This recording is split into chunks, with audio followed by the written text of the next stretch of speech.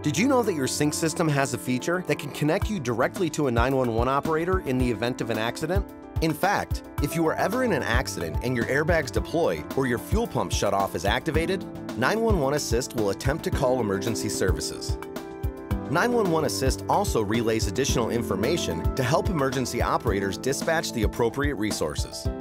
Information may include vehicle's location, if the airbags went off, is it a front, side, or rear collision, or a rollover, and how many seatbelts detected were fastened.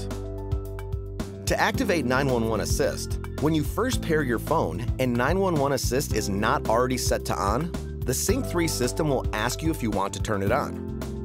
You can also choose two in case of emergency or ICE contacts for you or an emergency responder to have quick access to once the emergency call is ended. To do that, go to Settings, swipe the screen left, and touch the 911 tile. Then, set Emergency Contacts. To add Emergency Contact 1, touch Select a Contact, and your phone book will appear on the screen. Next, choose the name of the contact you wish to save, their number, and it will automatically save it. Do the same for Contact 2.